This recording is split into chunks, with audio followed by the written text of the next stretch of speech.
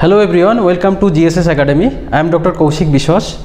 Today I am going to uh, describe about elastic properties of medium.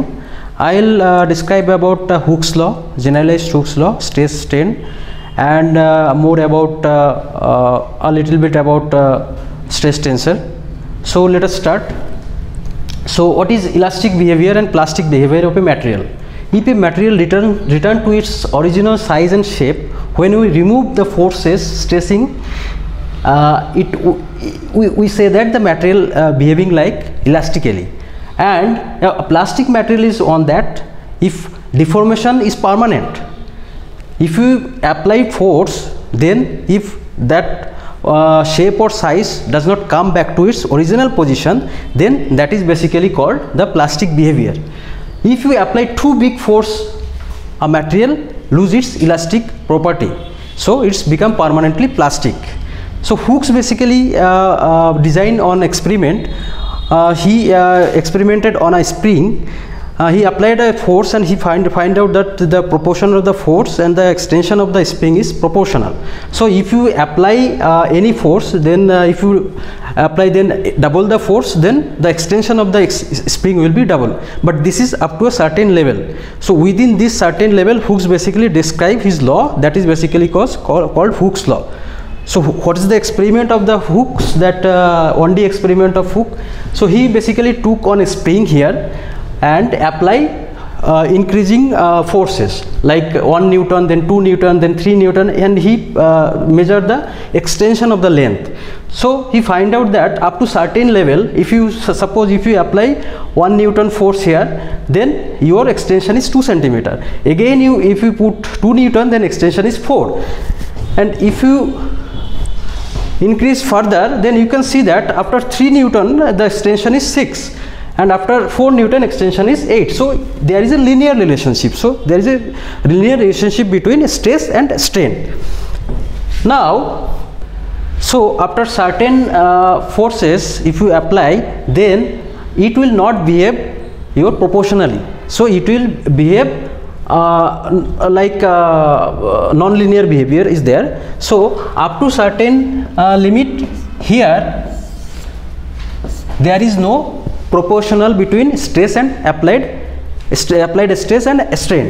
So this point is basically your up to this point your Hooke's law basically hold. Beyond this point your Hooke's law will not hold. So in general case we can say that in case of Hooke's law within elastic limit stress is proportional to strain.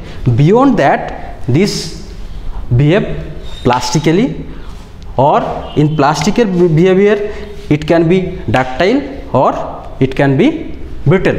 So that part i will come next. So here you can see that up to 4 newton the spring here the increasing proportionally.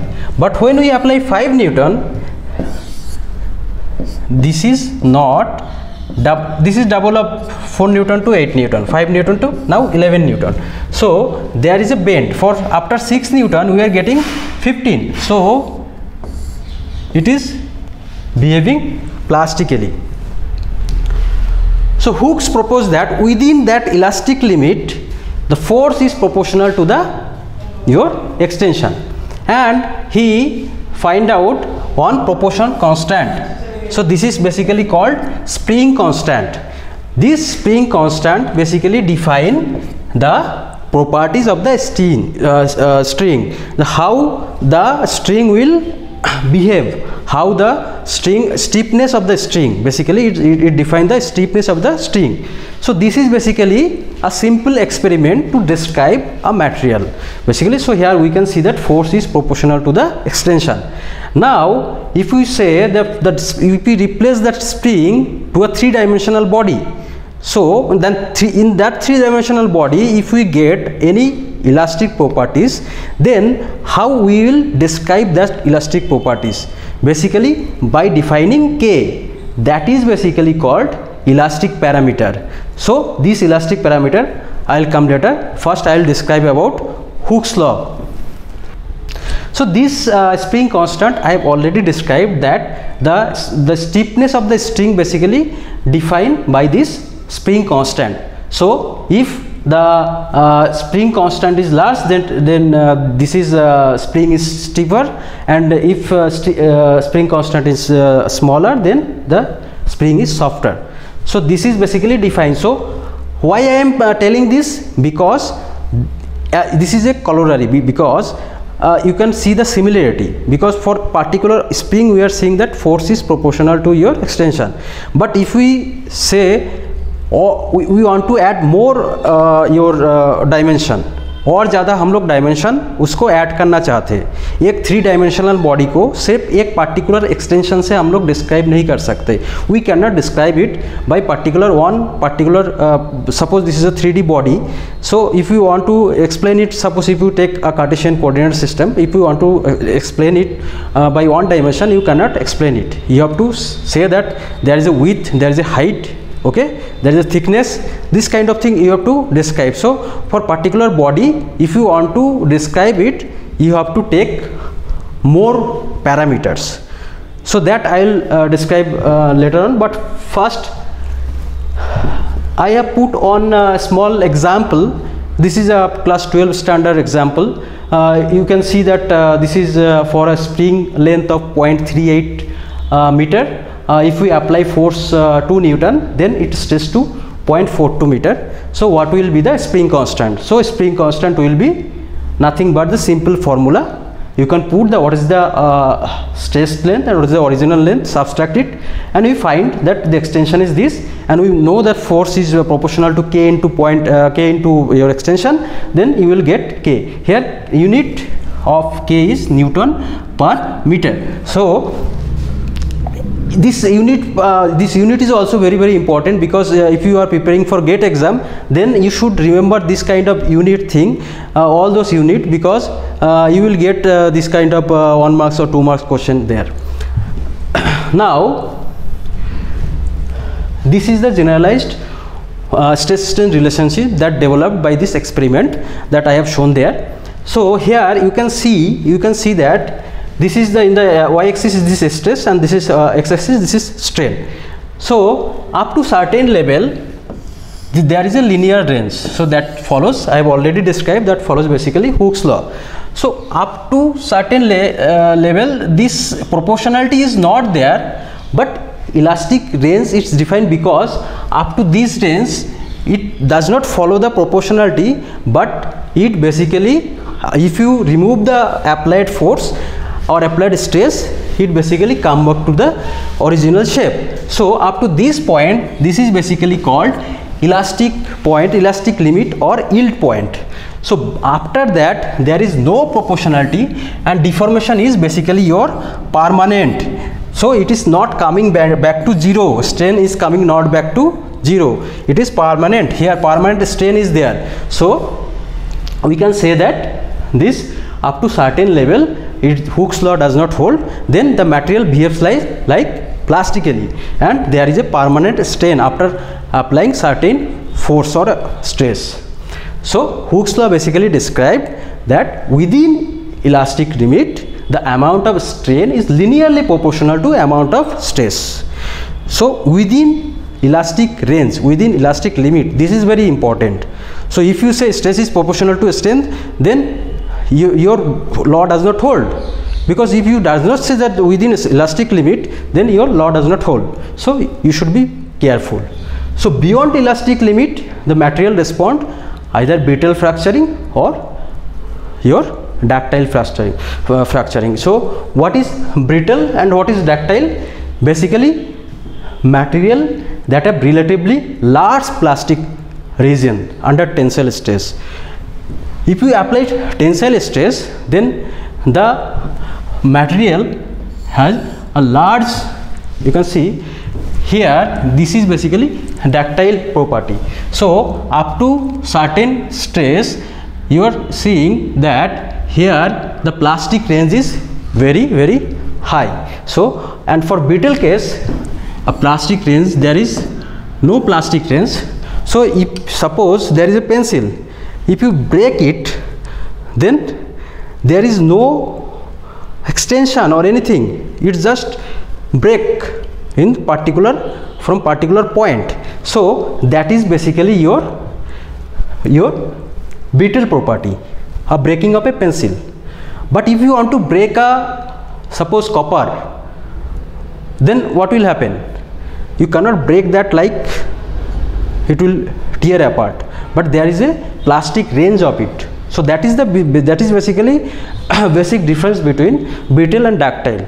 Now this is an example of your our uh, uh, oceanic crust and lithos uh, conti uh, continental crust.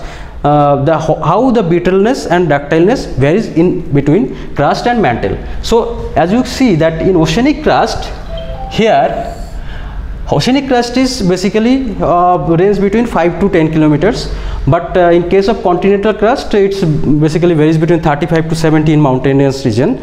So in case of uh, oceanic crust so uh, certain depth you are getting a brittle behavior brittle properties. But up to certain depth you are getting a brittle ductile transition zone. After that we are basically getting a ductile zone. So another thing if you see here this is basically your we are talking about crust and mantle.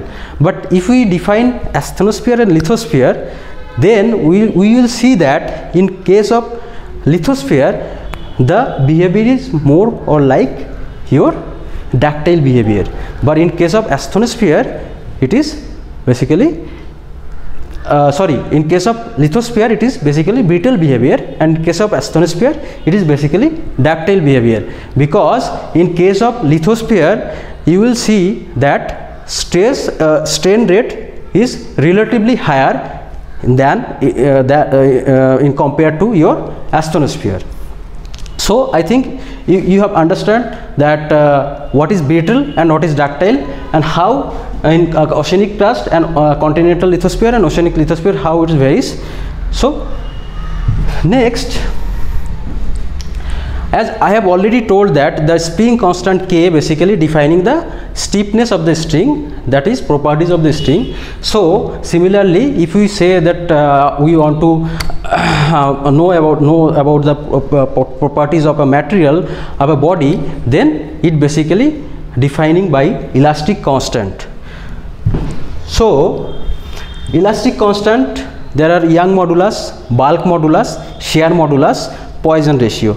These four elastic constant basically define any material any materials elastic properties. But this is I am talking about only for isotropic homogeneous medium.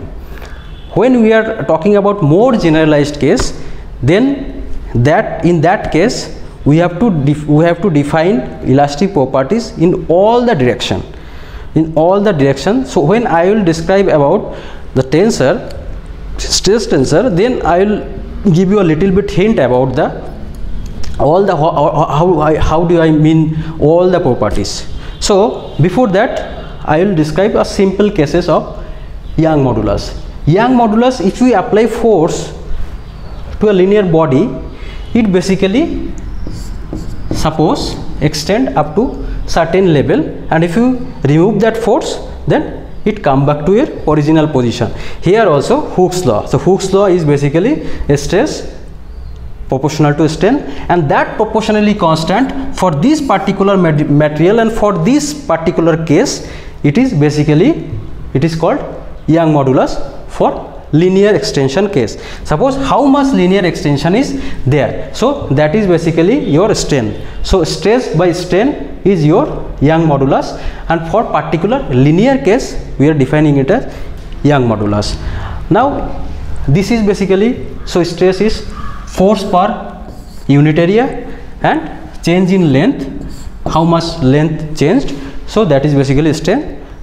Similarly we can define shear modulus. Shear modulus is basically uh, define the shear deformation. How much deform the shape of the body how much deform if we apply a shear force then how much deform the body uh, how, the shape of the body. So it's defined by this theta basically. So and if we remove that force the body come to its original place. So Hooke's law uh, also hold here. So we can say that here also your stress is proportional to strain for different different your Cartesian system suppose xyz Cartesian system then we can say that for xy plane here uh, your force is proportional to uh, your stress is proportional to strain. And this proportionality constant this mu that is basically your shear modulus now what is bulk modulus? The bulk modulus is basically the resistance of the body to the compression force. Basically is called bulk modulus. And bulk modulus is sometimes we called it your hydrostatic pressure. Suppose in case of hydrostatic pressure you will see equivalent your pressure in all direction. In all direction so it basically i have we, i have already told you about young modulus that is for one dimensional case. Shear modulus that is for two dimensional case. Now we are talking about a three dimensional case the volume the change in volume. How much volume basically changing? So that defined by this bulk modulus. So dilatation experienced by a body under hydrostatic pressure. Dilatation is basically defined by epsilon xx epsilon yy epsilon zz basically this is called theta. So this is a three dimensional strain that is how much experience under a hydrostatic pressure that is basically called your bulk modulus. So bulk modulus can be and i have already told for hydrostatic pressure the in all direction pressure equivalent. So sigma xx stress is equivalent to your p.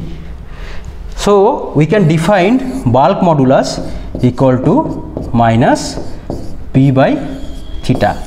Theta is nothing but dilatation. That is epsilon xx epsilon yy and epsilon zz next is Poisson ratio. Poisson ratio basically defined if we if we pull on any material like this in this direction on in this direction on in this direction then what will happen? There there will be a contraction in length in but in this direction.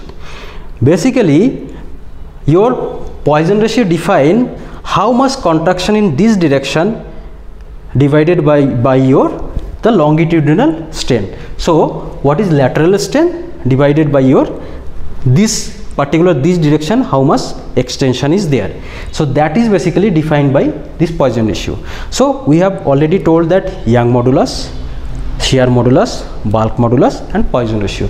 These are four elastic parameters that can define a material elastic properties in a isotropic and homogeneous medium.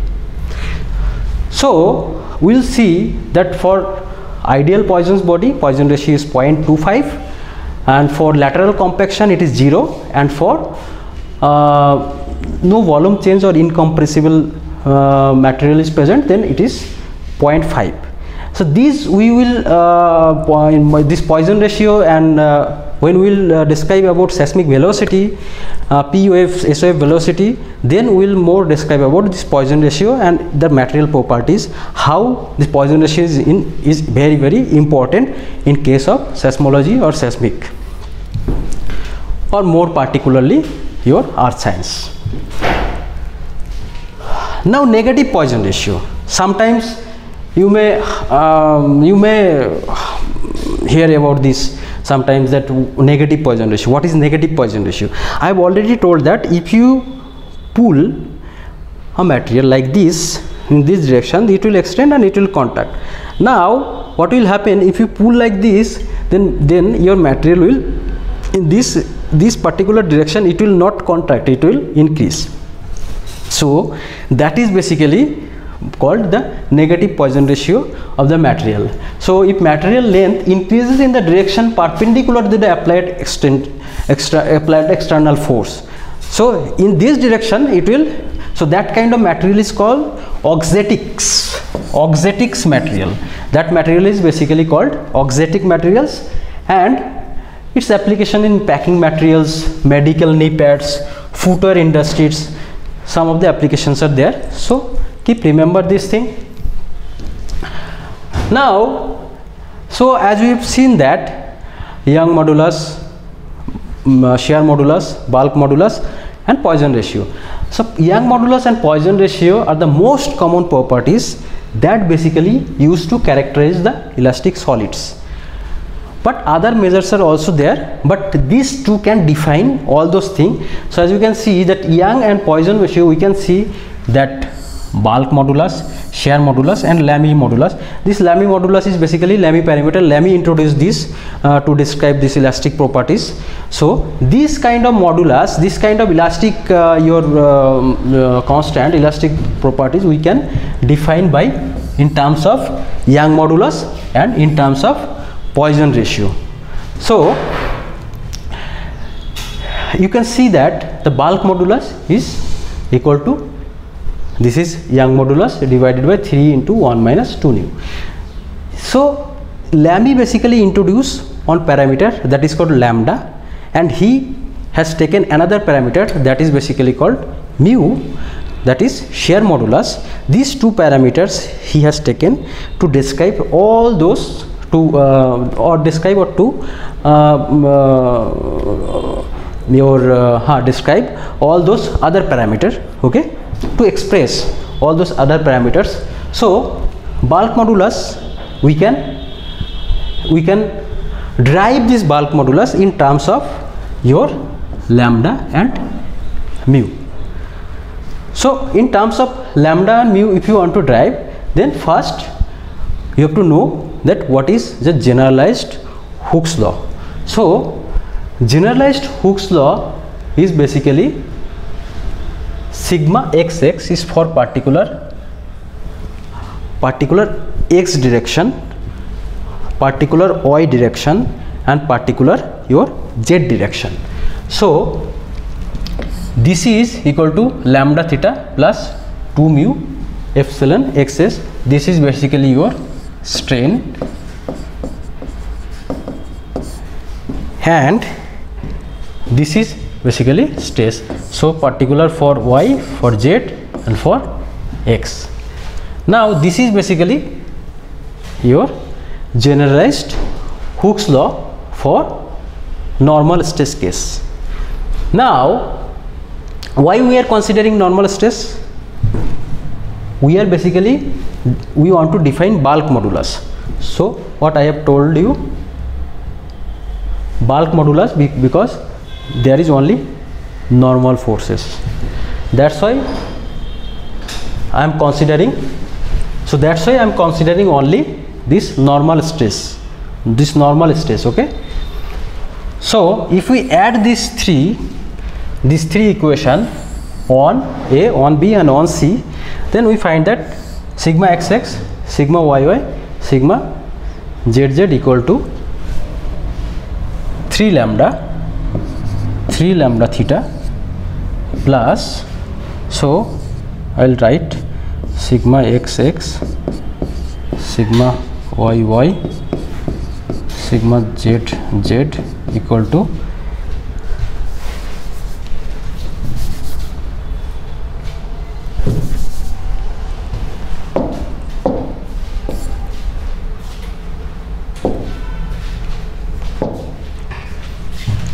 so sigma xx sigma yy sigma zz equal to these three basically 3 lambda theta plus if you take this common then 2 mu epsilon xx epsilon yy epsilon zz now in my previous slides I have told that this this is basically what is this?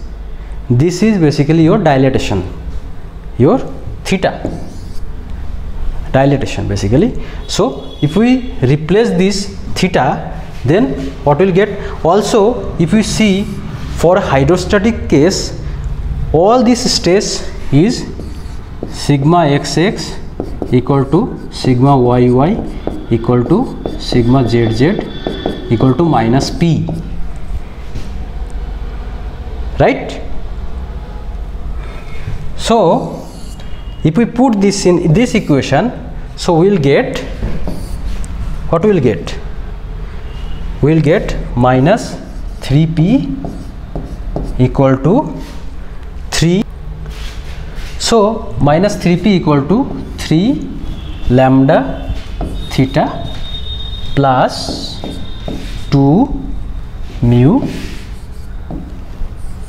theta. Now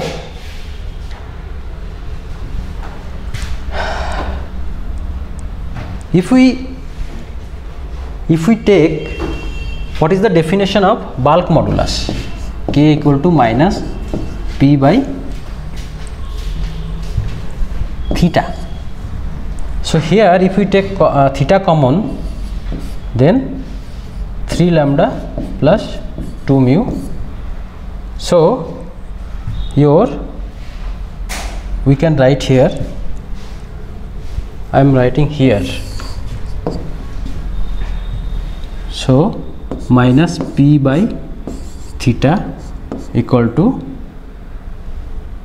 3 lambda plus 2 mu by 3 so, k equal to here P by theta and three I have put that that side इस side में भेज दिया उसको, ठीक है?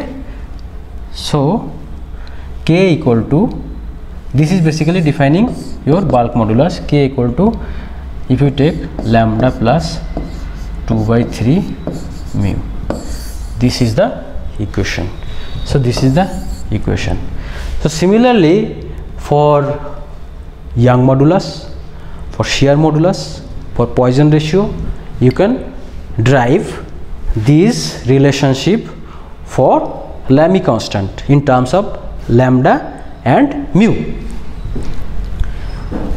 Now here is another example for Poisson's ratio.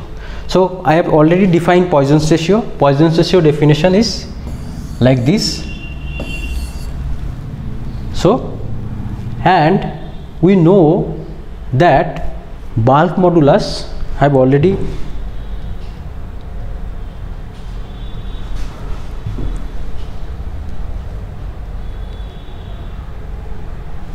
yes.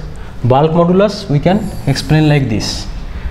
We can take like this. So as you can see here if we put in this equation in bulk modulus equation if we put we know k in terms of lambda. This equation just we have derived k equal to this. And we know young modulus equal to this. You can derive it so if we put this and this if we replace in terms of lambda and mu then we get equation like this. So this is basically 3 lambda plus 2 mu by 3 and this term 1 by 3 1 minus 2 nu and mu into this is basically your young modulus in terms of uh, lambda and mu. This is the this is the case. So if we simplify it then what we will find? We will find equation like this. So lambda plus mu by mu equal to 1 by 1 minus 2 nu. This is your young's modulus. Now if you rearrange this equation so what will get? You will get nu equal to lambda divided by 2 plus 2 into lambda plus mu.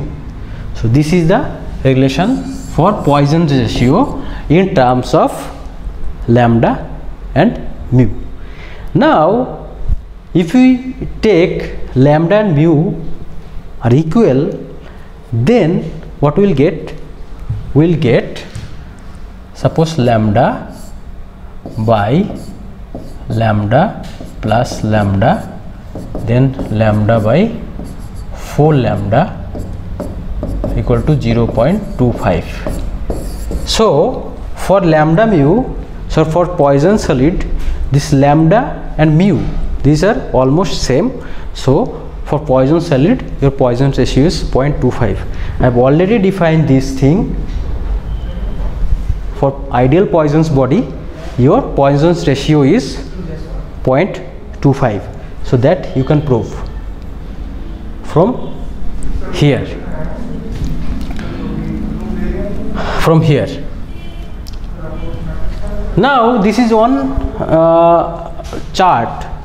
Basically there are various relationship. Your for Lamé modulus shear modulus young modulus poisson's ratio bulk modulus all you can you can describe you can express this in terms of all those all those parameters okay? So if you want to express Lamé modulus lambda in terms of mu and epsilon this is the relationship. Now because always you cannot uh, drive this thing and uh, everything but if you put this chart in your study table if you remember this then uh, uh you will remember all those equation and in exam it will be very very helpful for you guys.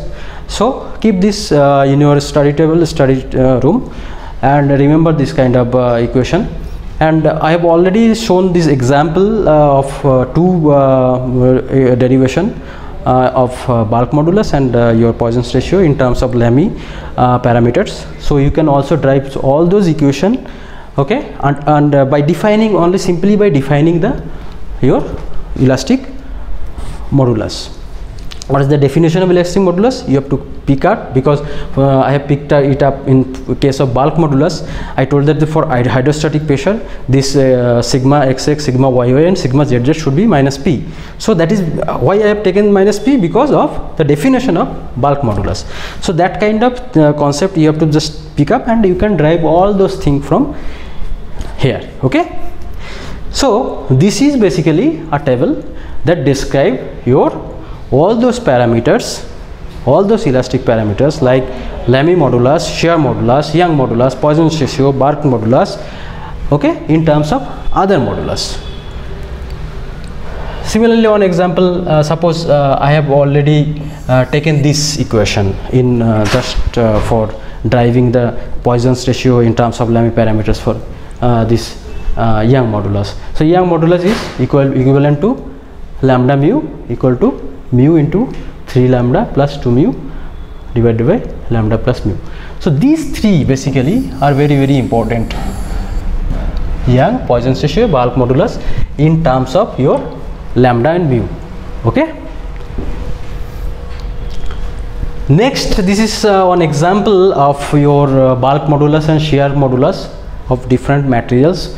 What are the um, bulk modulus and shear modulus for air, water, ice, shale, sandstone, salt, limestone, quartz, granite. So uh, this example uh, basically I put it uh, here for your convenience. You can compare this uh, bulk modulus and shear modulus thing here. That for air the shear modulus is zero, and for water also shear modulus is zero because uh, your water uh, there is no your compressibility is there so that's why you, there is no shear modulus. So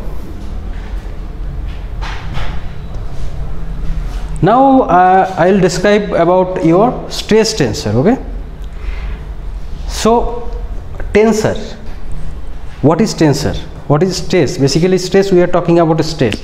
But if we want to describe stress uh, you know generalized generalized stress then you have to define in terms of tensor because what is tensor? If you see scalar vector. Scalar vector and tensor is basically more generalized form of a vector. Suppose scalar is quantity that you can describe only with magnitude. And vector is a quantity it needs both magnitude and your direction. But in case of tensor you need magnitude direction and also a reference plane okay? So a particular for a particular reference plane you can explain that magnitude and your direction. Then that is basically called your tensor.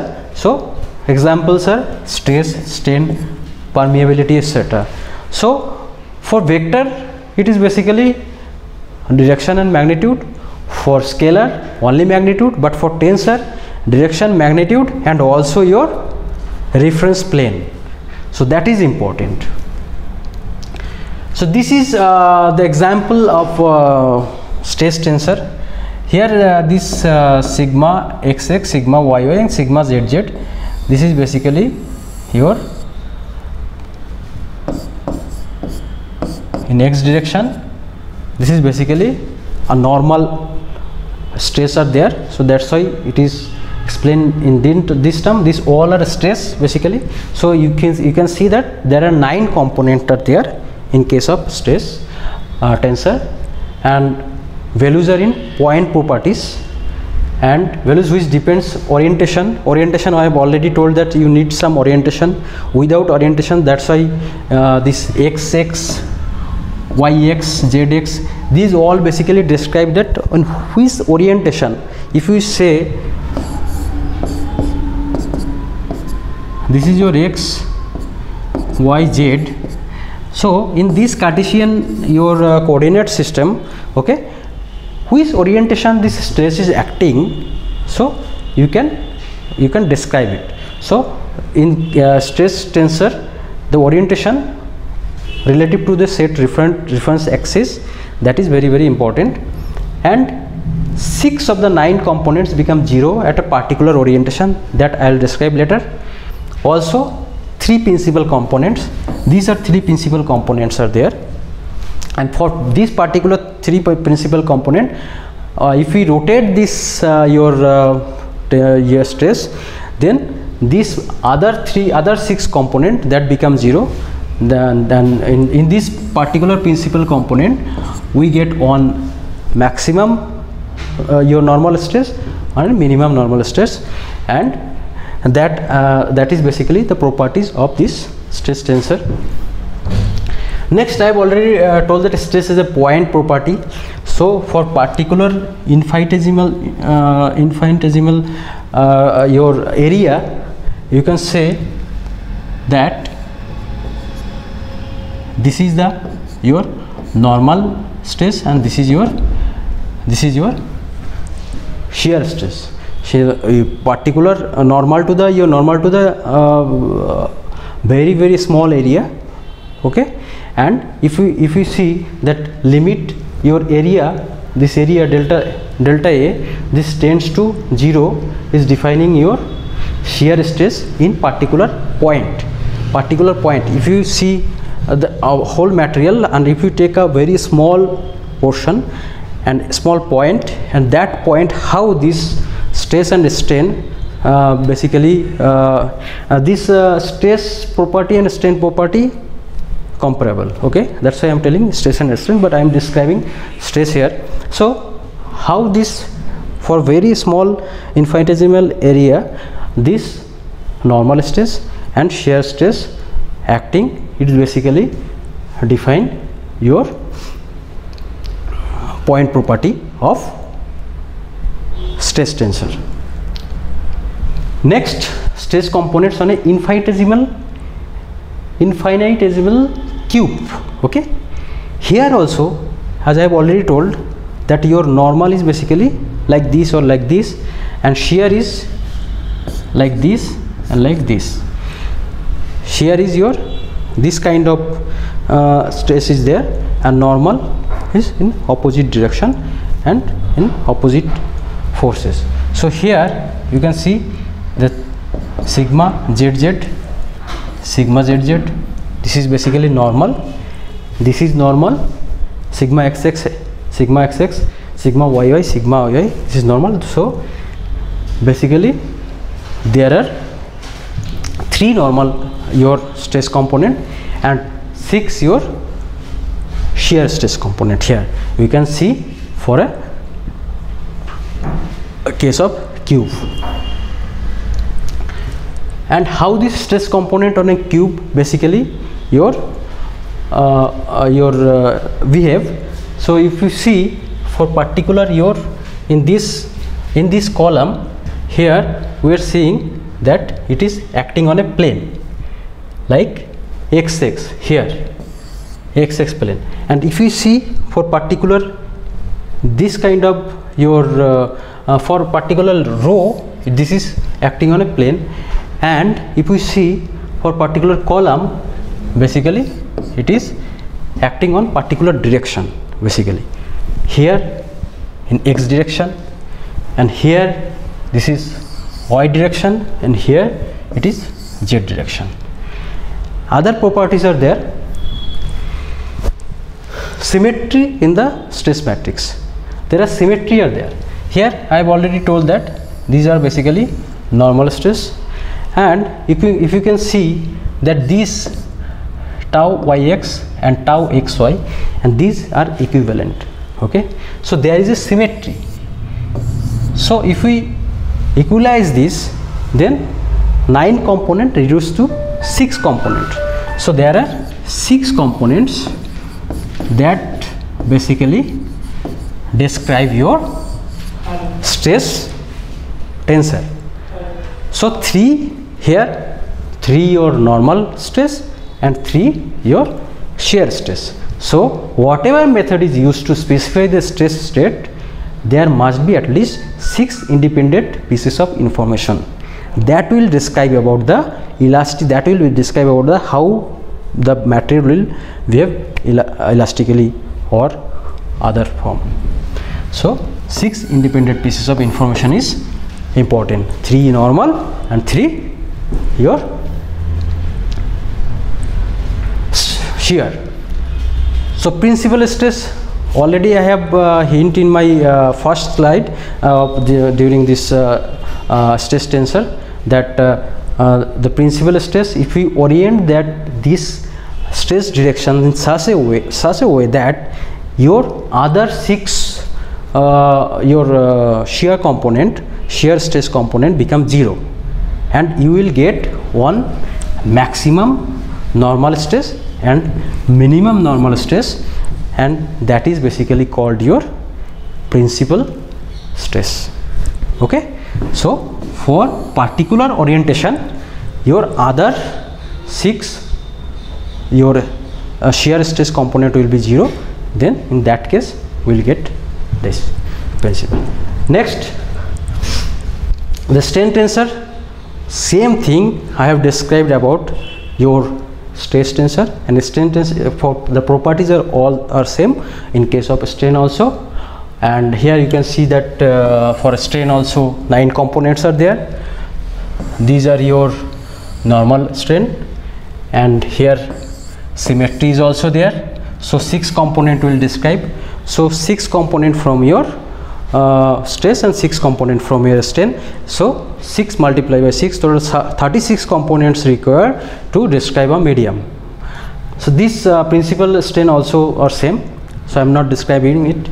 So in case of total 36 but energy conservation cases 20 elastic 21 elastic constant can describe for general anisotropic rock okay? And for orthorhombic rock 9 elastic constants are there. Okay? For transversely isotropic rock 5 elastic constants can describe it.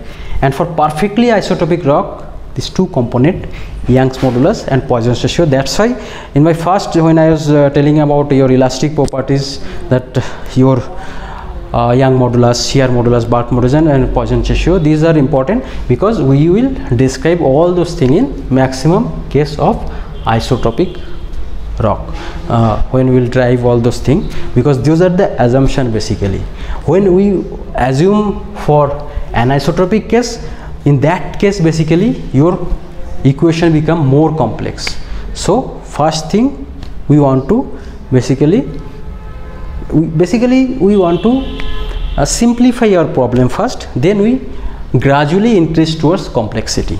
That's why we are basically assuming that the earth material that is basically isotropic okay homogeneous case. For for that case we get we take only two elastic constants.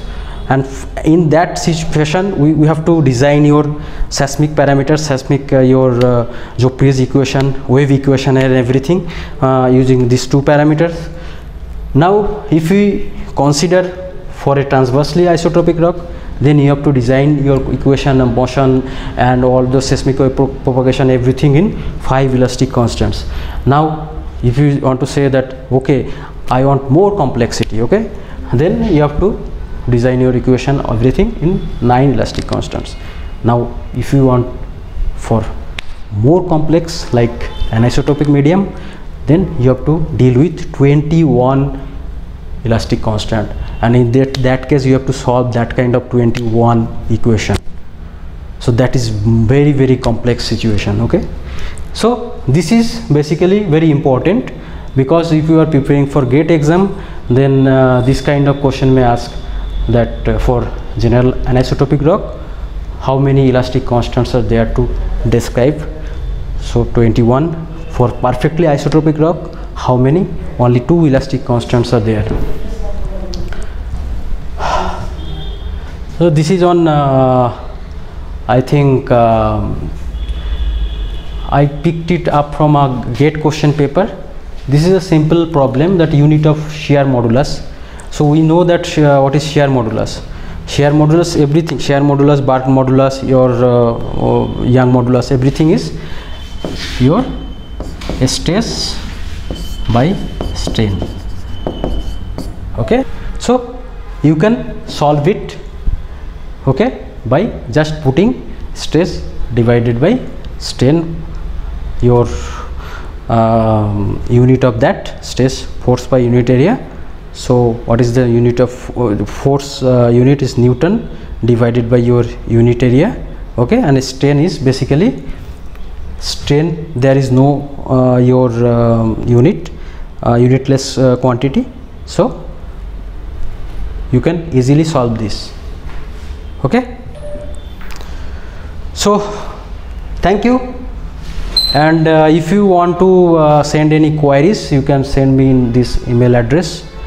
Uh, if you have any queries related to this lecture. And in the next lecture we'll describe about uh, seismic wave how this seismic wave propagates and what are the properties how this uh, in elastic uh, material how this seismic wave propagates what are the uh, effects basically when the seismic wave propagates through elastic material. This thing i will describe in next class. Thank you